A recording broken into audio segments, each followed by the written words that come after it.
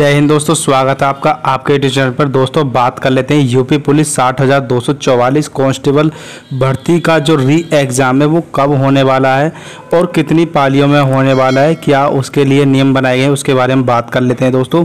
तो दोस्तों, जैसा कि आप देख रहे हैं, नई गाइडलाइन के तहत नहीं मिल रहे केंद्र ग्यारह पालियों में करानी होगी परीक्षा।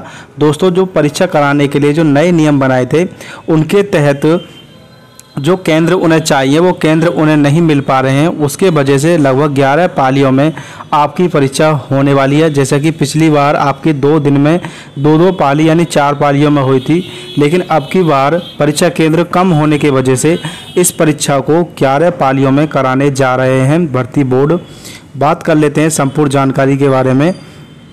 दोस्तों, जैसा कि आप देख रहे हैं, दोबारा होने वाली पुलिस भर्ती को लेकर नई समस्या खड़ी हो गई है।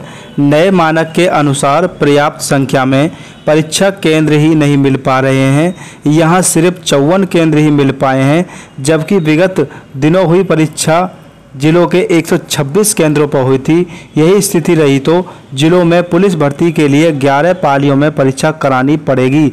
दोस्तों, उन्होंने कहा है कि जो परीक्षा कराने के लिए जो केंद्र बनाए गए हैं, उनके मानक के अनुसार वो केंद्र कम पड़ रहे हैं। क्योंकि कुल चौवन केंद्र उन्हें मिल रहे हैं। पिछली बार 126 केंद्र मिले थे, अब की बार चौवन केंद्र मिल रहे हैं। उसके वजह से बहुत दिक्कत होने वाली है। अब परीक्षा को लगभग 11 पालियों में कराना होगा, तब जा कर के परीक्षा पूरी हो पाएगी। और दोस्तों, जैसे पिछली बार परीक्षा दो दिन में, दो दो पालियों में हो गई थी, अब की बार इस प्रकार से केंद्र कम होने की वजह से दिक्कत आ रही है।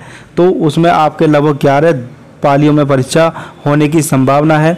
आगे बात कर लेते हैं। पुलिस भर्ती परीक्षा 17 और 18 फरवरी को कुल चार पालियों में हुई थी। दोस्तों 17 और 18 फरवरी में दो दो दो दो पालियों में दो दिन हुई थी तो चार पालियों में पिछली बार हो गई थी। हर पाली में कुल 126 केंद्रों पर उनहत्तर अभ्यर्थी पंजीकृत थे। जब 126 आपके परीक्षा केंद्र बने गए तो प्रत्येक परीक्षा केंद्र पर लगभग सत्तर हज़ार, यानी कि उनहत्तर अभ्यर्थी वहाँ पेपर दिए थे, पंजीकृत थे।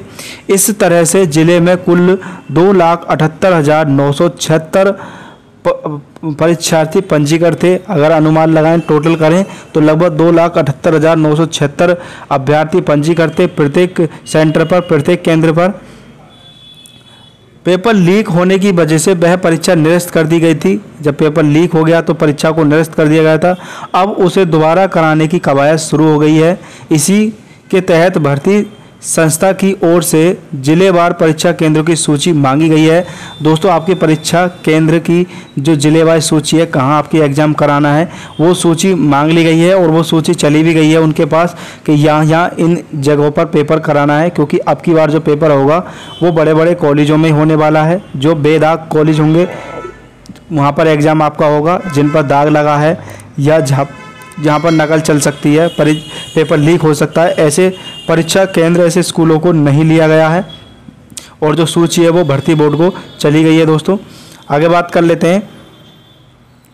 नई गाइडलाइन के अनुसार केंद्र ही नहीं मिल पा रहे हैं। जिला प्रशासन प्रशासन की ओर से अभी इक्यावन शिक्षण संस्थाओं की सूची भेजी गई है। दोस्तों, जो परीक्षा केंद्र बनाए गए हैं, उनकी जो सूची मांगी गई है, वो सूची अभी तक इक्यावन संस्था की सूची भेजी गई है, जिनमें एक पारी में उन्नीस उन्नीस हज़ार छः सौ चवालीस अभ्यर्थी परीक्षा दे सकते हैं।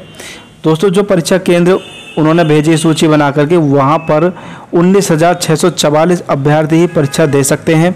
इनके अलावा बृहस्पतिवार को M N M N N I T professor Rajendra Singh Rajju Bhaiya विश्वविद्यालय तथा उत्तर प्रदेश राजश्री टंडन मुक्त विश्वविद्यालय ने भी परीक्षा कराने की सहमति दे दी है। दोस्तों, इन प्रोफेसर जो विश्वविद्यालय के हैं, इन लोग इन्होंने भी परीक्षा कराने की अनुमति दे दी है। यहाँ भी आपके एग्ज़ाम होने वाला है।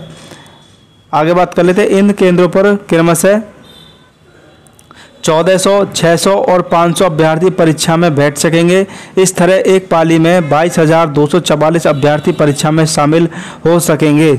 दोस्तों अगर 11 पालियों में परीक्षा होनी है तो लगभग बाईस हज़ार अभ्यर्थियों को एक पाली में बैठा बैठना होगा तब जाकर परीक्षा कवर होगी। तो अगर पूरी तरह से परीक्षा केंद्र मिल जाते हैं तो अभ्यर्थियों की परीक्षा देने की जो क्षमता है वो बढ़ सकती है। लेकिन फ़िलहाल ग्यारह पालियों में ये परीक्षा जा सकती है, क्योंकि परीक्षा देने के लिए जो परीक्षा केंद्र है, जहाँ पर अभ्यर्थियों को बैठना होगा, वो जगह बहुत कम है तो थोड़े थोड़े अभ्यर्थियों को लेकर के परीक्षा करानी होगी। आगे बात करते हैं, जिला प्रशासन इलाहाबाद विश्वविद्यालय के भी संपर्क में है, वहाँ से सहमति मिल जाती है तो तो भी एक पाली में अधिकतम पच्चीस हज़ार अभ्यर्थी परीक्षा दे सकेंगे।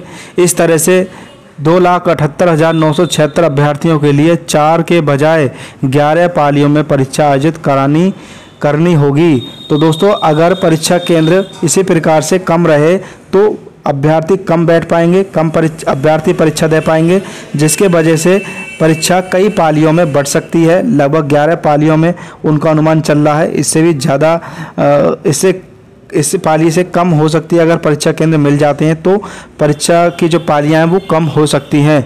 लेकिन अभी फ़िलहाल ग्यारह पालियों में उनका जो सूची है वो बनाई गई है। ग्यारह पालियों में परीक्षा वो कराएँगे ताकि परीक्षा आपकी बढ़िया हो और किसी प्रकार की कोई धांधलेबाजी ना हो। अगर ज़्यादा अभ्यर्थियों को बैठा देंगे तो काफ़ी दिक्कत हो जाएगी। इस वजह से उन्हें कई पालियों में परीक्षा करानी पड़ेगी। तो दोस्तों, अगर आप चाहते हैं यूपी पुलिस संबंधित सभी छोटी छोटी सूचना आपको समय से मिलती रहे तो आप हमारे चैनल को सब्सक्राइब कर दें, बेल आइकन को दबा दें, ताकि सभी सूचना आपको समय से मिलती रहे। दोस्तों, इस वीडियो में इतना ही। मिलते हैं नेक्स्ट वीडियो में। Thank you. धन्यवाद।